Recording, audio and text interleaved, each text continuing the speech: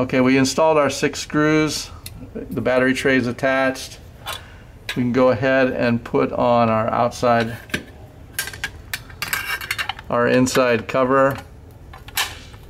Okay, this only goes one way and you can rotate it and it should extend and retract the dead, the deadbolt.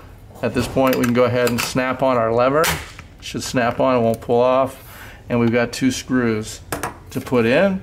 And then the operation should be, um, I'm using power tools, but we don't recommend power tools. Okay, so just to test it on the inside, should retract both bolts, lifting up, will extend the deadbolt. Manually, you can do it with the thumb turn also. On the outside, you rotate the lever down, nothing should happen.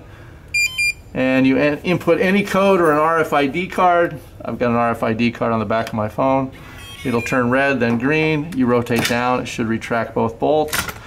It should lock. Now it's locked, the latch won't retract. You lift up, and the deadbolt extends, go down, and nothing happens until you put in a valid code. So that's how you install the lock.